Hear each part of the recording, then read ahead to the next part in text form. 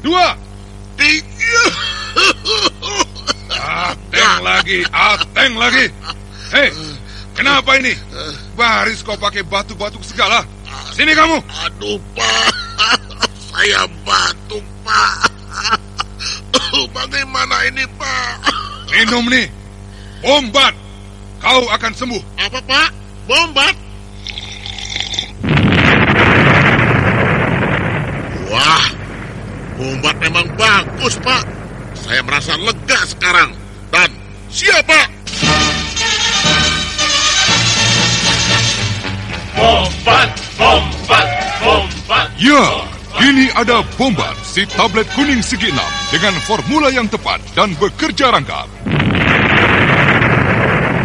Bombat mengatasi batuk kering, batuk berdahak, batuk alergi, dan batuk karena merokok. Bombat, obat batuk produksi Kalbe Farma.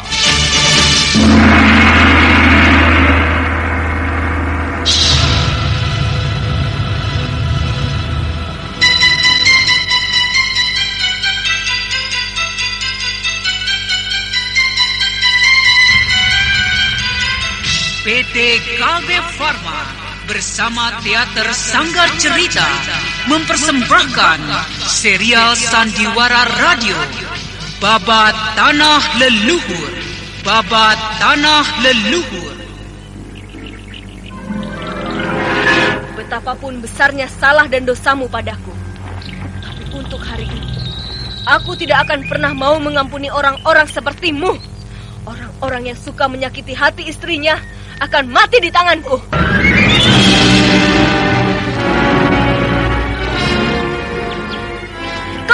Itu? Mereka akan mati di tanganku. Bukan itu saja. Aku juga akan membunuh semua perempuan yang merampas suami orang lain. Nah, aku tidak perlu lagi berpanjang lebar. Sekarang tutup matamu. Terimalah kematianmu dengan tenang. Dewi, apakah hatimu telah tertutup untuk mengampuniku?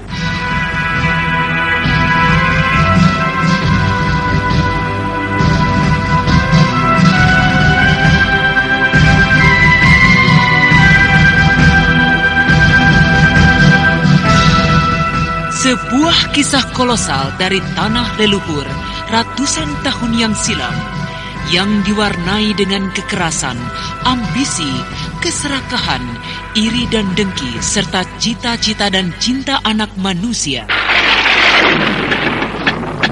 Tengok-tengok cari musuh orang yang sakit flu.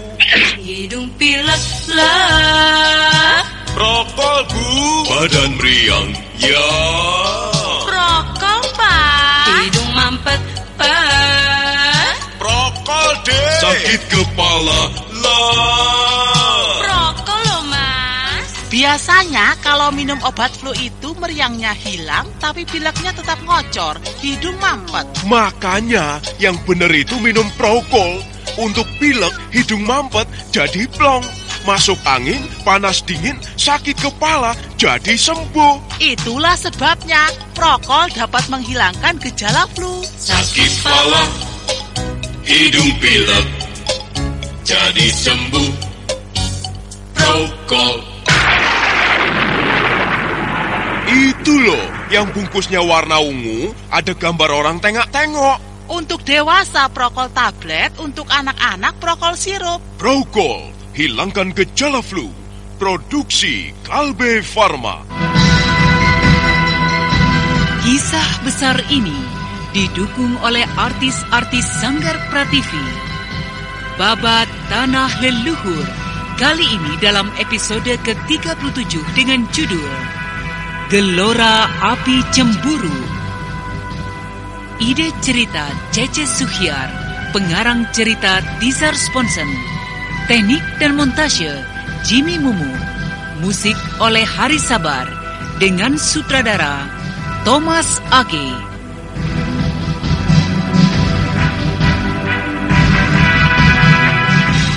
Pada seri yang ke-13 ini menampilkan Yuli sebagai Cempaka, Rifki sebagai Daruta, Ishne sebagai Pisang Langit, Bimo sebagai Pak Dondong, dan pembawa cerita Neni Sumardi. Selamat menikmati.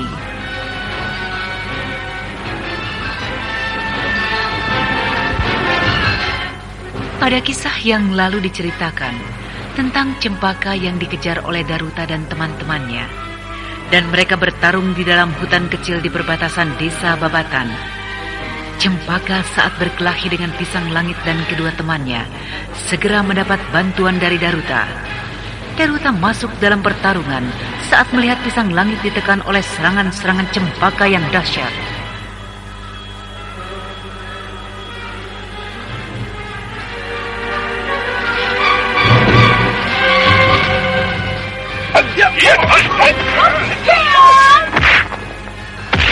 Mampus kau perempuan setan! Nah, begitu. Baru namanya teman sejati. Jangan kau biarkan ketiga temanmu ini mati dengan penasaran tanpa mendapat bantuan darimu. Kurang! Hiat! Hanya seginikah ilmu yang kalian andalkan untuk menangkapku? Sesumbar kalian begitu hebat. Kalian ingin mengambilku menjadi istri kalian. Ingin mengambil uang-uang emas yang kubawa ini. Ayo, ambillah. Jangan hanya berloncatan begitu. Ayo. Hup, het, hiat. Jadikanlah aku istri kalian. Jadikan aku pemuas nafsu kalian. Setan alas! Ternyata perempuan ini memiliki kehebatan yang luar biasa. Jurus serangannya sulit untuk diterka. Aku dan teman-temanku tidak bisa menyentuh tubuhnya. Wah, gerakannya gesit dan lincah sekali. Oh, Panjul dan Bandil terkena pukulannya. Aduh, kedua temanku tidak bersuara. Setan alas! Mereka bisa.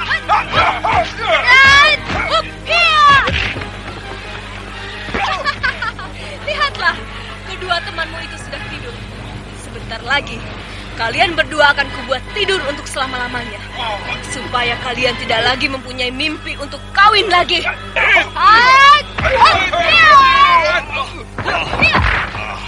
Ternyata aku salah kira. Perempuan ini bukan perempuan biasa. Dia ternyata seorang pendekar. Pantas dia berani membawa uang emas sebanyak itu. Aku harus melarikan diri. Aku tidak boleh mati. Hei, penjahat rendah! Mana suaramu? Mana kata-katamu tadi? Tadi kau ingin membayar aku di saat aku makan. Tapi begitu melihat aku mempunyai uang banyak, kau jadi penasaran ingin merebutnya. Dan kau juga ingin memperkosaku. Ayo, lakukanlah. Tangkap aku. Kalian manusia yang tidak berguna. Matilah kalian semua. Mampus kau. Selesai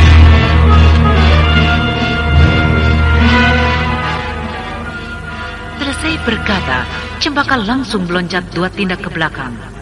Perempuan itu langsung menyilangkan tangannya di depan dada. Lalu pada saat berikutnya, Cempaka melenting seperti seekor kijang. Kedua tangannya berputar cepat. Angin pukulannya menderu. Daruta dan pisang langit tersentak. Namun mereka tak bisa berbuat apa-apa. Terimalah ajal kalian ini. Hiya!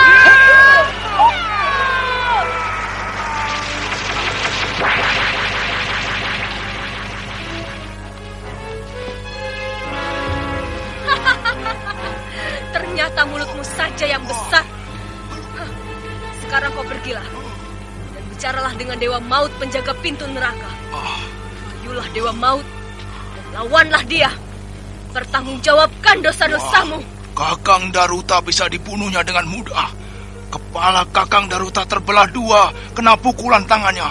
Aku... Oh, oh, oh. Sekarang giliran. Tenanglah. Dan katakan, kau mau mati yang bagaimana? Hah? Apakah mau mati dengan dada membiru? Atau dengan kepala terbelah seperti temanmu ini? Atau kau mau mati berdiri? Hah. Sebut saja, dan aku akan mengabulkannya. Heh, kenapa kau gemetar? Kau masih sayang juga dengan nyawa anjingmu itu, hah? Oh, oh, ampunkan saya Dewi. ampunkanlah saya. Saya punya istri dan anak. Mereka butuh kasih sayang. Ya, mereka butuh hidup. Ampunilah saya. Apa? Ampun. Iya, iya, iya. Ampun itu sejenis binatang apa? Hah? Apakah ampun itu sejenis binatang seperti kau? Hah, aku tidak tahu apa artinya ampun itu.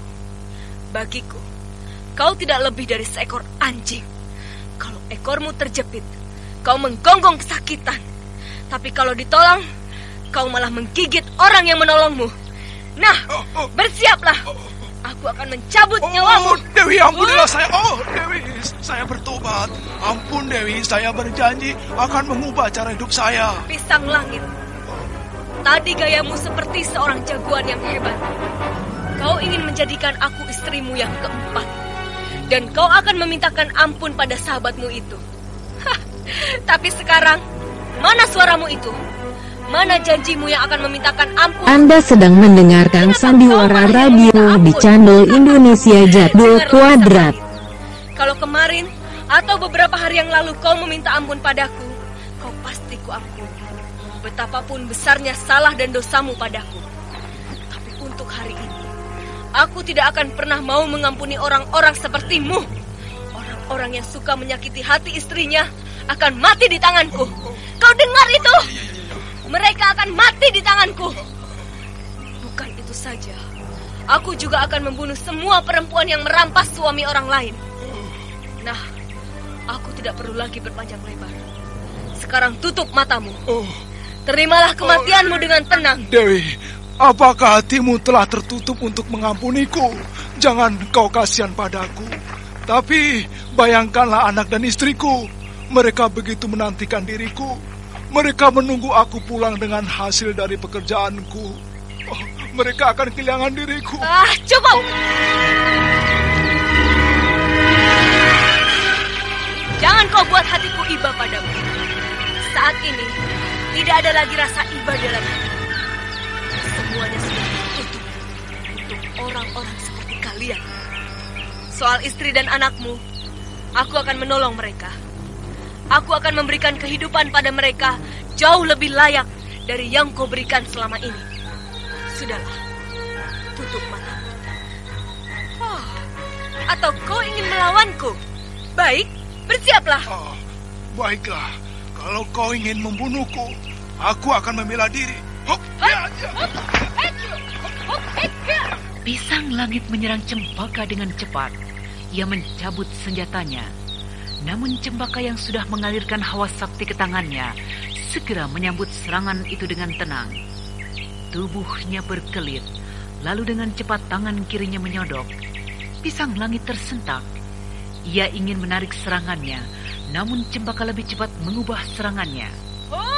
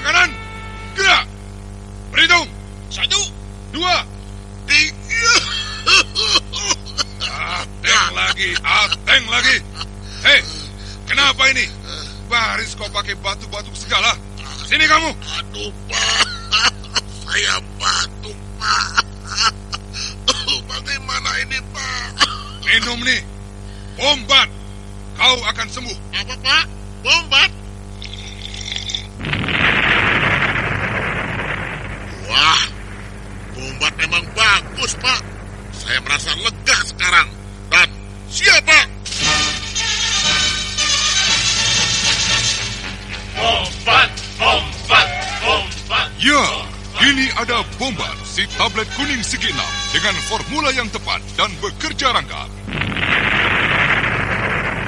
Bombat mengatasi batuk kering, batuk berdahak, batuk alergi, dan batuk karena merokok. Bombat, obat batuk produksi Kalbe Farma.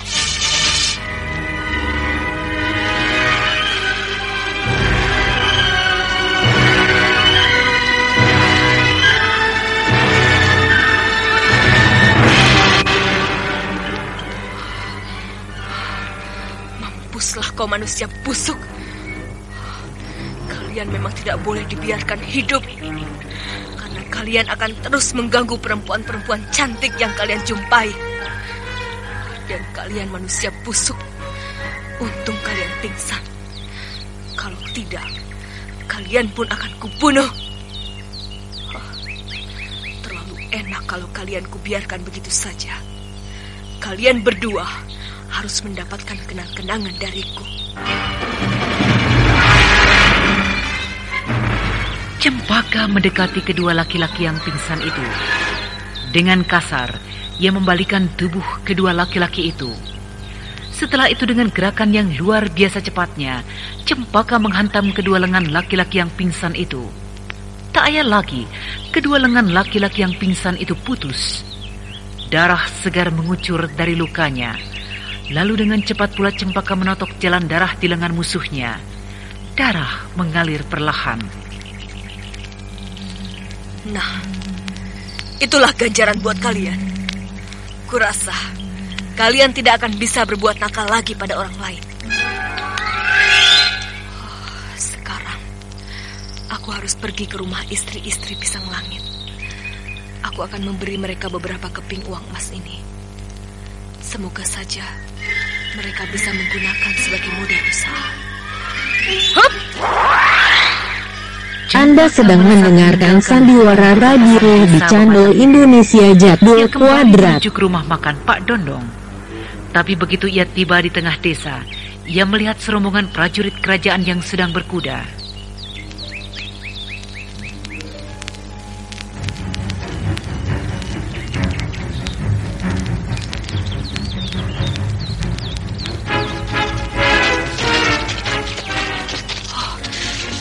Prajurit Karangsedana.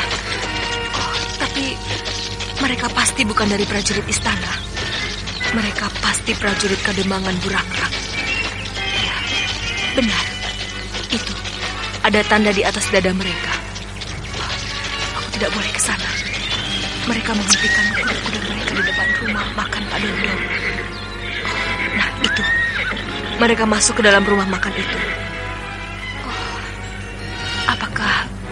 Mereka mencariku karena perintah Kanda Purbaya?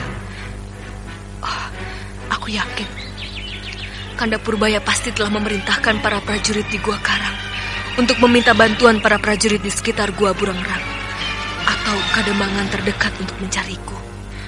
Oh, iya, mereka keluar dari rumah makan Pak Dondong. Mereka naik ke kuda lagi. Oh, mereka menuju ke arah barat. Sebaiknya aku keluar dan pergi ke rumah makan Pak Dondong. Aku harus tahu di mana rumah istri-istri pisang langit. Aku yakin Pak Dondong akan mengetahuinya. Ataupun orang-orang yang ada di dalam rumah makan itu. Selamat siang Pak Dondong. Neng Ayu, wah, kenapa kau kembali lagi kemari? Ah, ah, apakah kau tidak berjumpa dengan Daruta dan ketiga teman-temannya? Ah, mereka tadi menyusulmu ke sana. Aku bertemu dengan mereka, Pak. Hah? Karena urusan mereka itulah aku jadi kembali lagi kemari. Aku ada perlu dengan Pak. A- a- ada apa? Apakah kau diganggu sama mereka? Kalau begitu, ah, saya, aduh, ah, Bapak tidak berani membantu. Mereka orang-orang jahat dan kasar, Neng. Mereka tidak segan-segan melakukan penyiksaan pada kami yang lemah.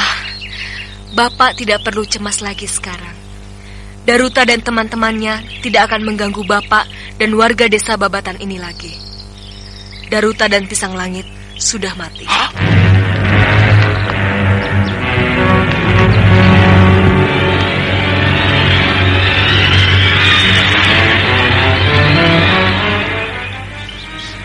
Sudah mati. Pak Dondong yang tua itu memandang Cempaka dengan mata terbelalak. Bibirnya berdesis tak percaya. Berkali-kali ia mengucapkan kata-kata yang sama. Tidak percaya. Ah, Daruta dan Pisang Langit sudah mati. Ah, mana mungkin, Neng? Di desa ini tak ada yang sanggup membunuh mereka. Para prajurit Kademangan pun tidak jarang takluk pada mereka. Bapak mau percaya atau tidak, terserah. Yang penting, aku sudah memberitahukan semuanya pada Bapak. Sekarang, aku mohon bantuan Bapak. Antarkan aku ke rumah istri-istri pisang langit. Ah, apa aku tidak salah dengar ini? Dan untuk apa kita ke sana? Aku membawa pesan dari pisang langit untuk menyampaikan uang pada istri-istrinya. Amanah orang yang sudah mati harus dilaksanakan.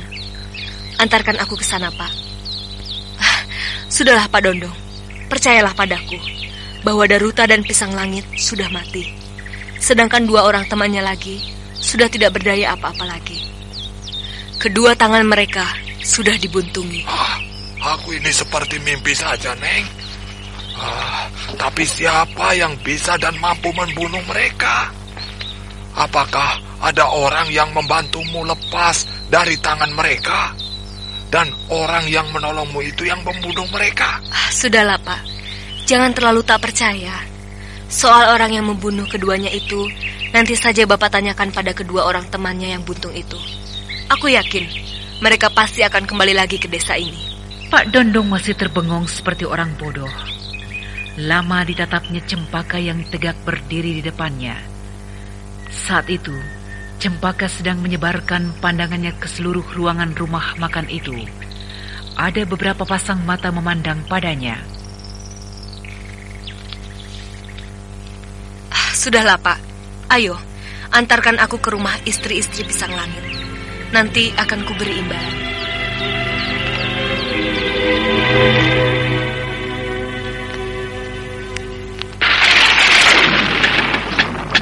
Tengok-tengok cari musuh Orang yang sakit flu.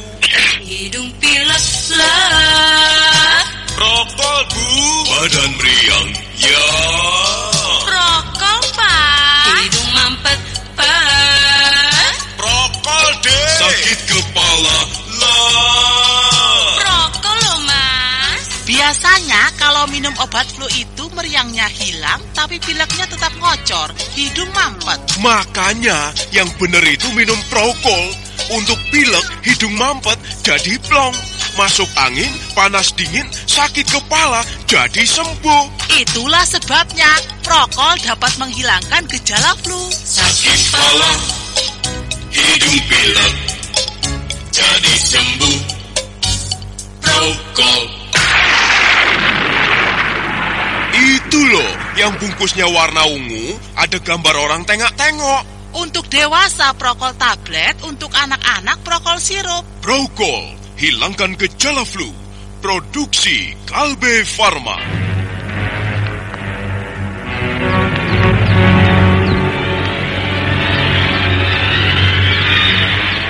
Selesai berkata, Cempaka lalu mengeluarkan sekeping uang emas dan memberikannya pada Pak Dondong. Laki-laki tua itu menerimanya sambil terbungkuk-bungkuk. Lalu setelah itu ia masuk ke dalam. Dua orang pembantunya keluar untuk menjagakan rumah makannya. Sedangkan Pak Dondong sudah turun bersama Cempaka.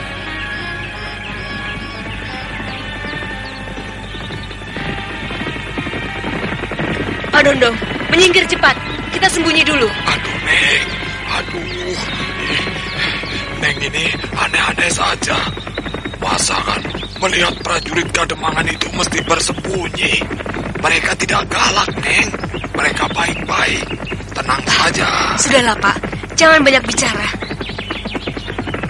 Cempaka dengan cepat menarik tangan Pak Dondong. Orang tua itu tersentak ke belakang dan ia semakin kaget menyadari kekuatan Cempaka.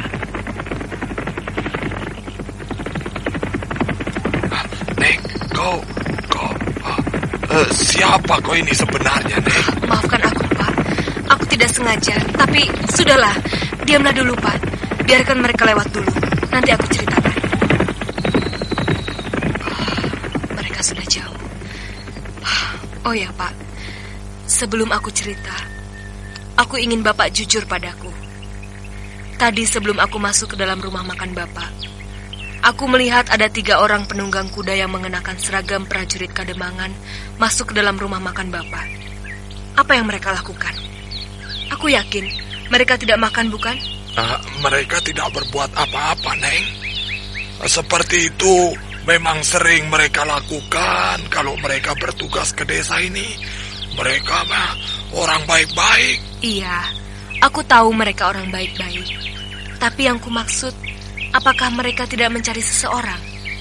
Misalnya, dia disuruh oleh atasan mereka untuk mencari penjahat atau buron kerajaan? Pak Dondong menatap Cempaka dengan teliti dari ujung rambut sampai ujung kaki.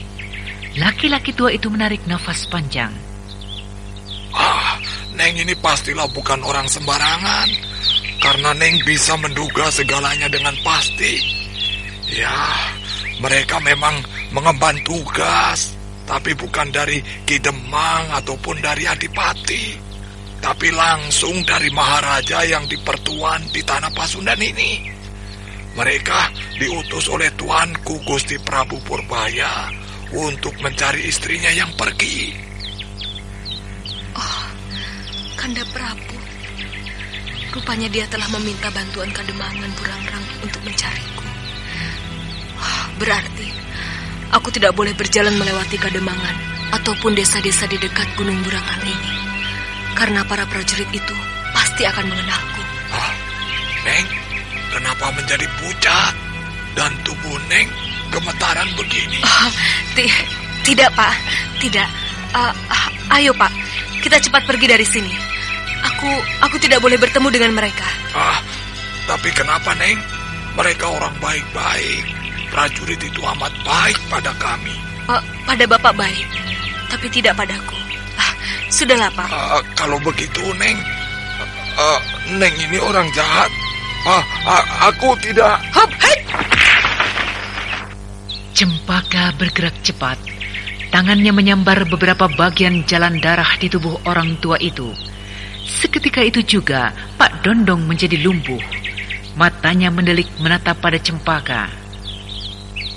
Maafkan aku, Pak Dondong. Aku terpaksa melakukan hal ini karena aku tidak mau kau membuat urusanku bertambah. Ayo, kita jalan terus. Nanti aku akan melepaskan totokanku. Pak Dondong tidak dapat bersuara lagi. Urat di lehernya tertutup. Tubuhnya terasa lemas sekali. Laki-laki tua itu hanya mengikuti apa yang dilakukan oleh Cempaka. Mereka terus berjalan menyusup di antara rumah-rumah penduduk.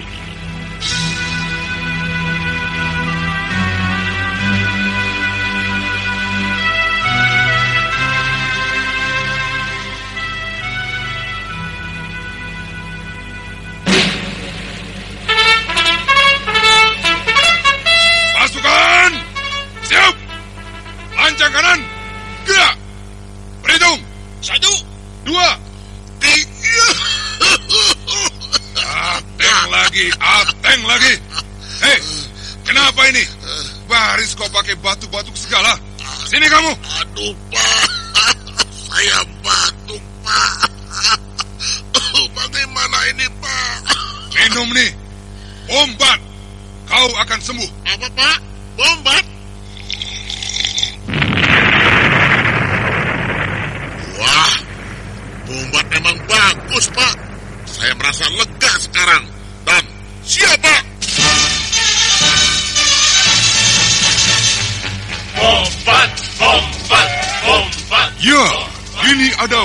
Si tablet kuning segi enam dengan formula yang tepat dan bekerja rangkap. Bombar mengatasi batuk kering, batuk berdahak, batuk alergi, dan batuk karena merokok. Bombar, obat batuk produksi Kalbe Farma.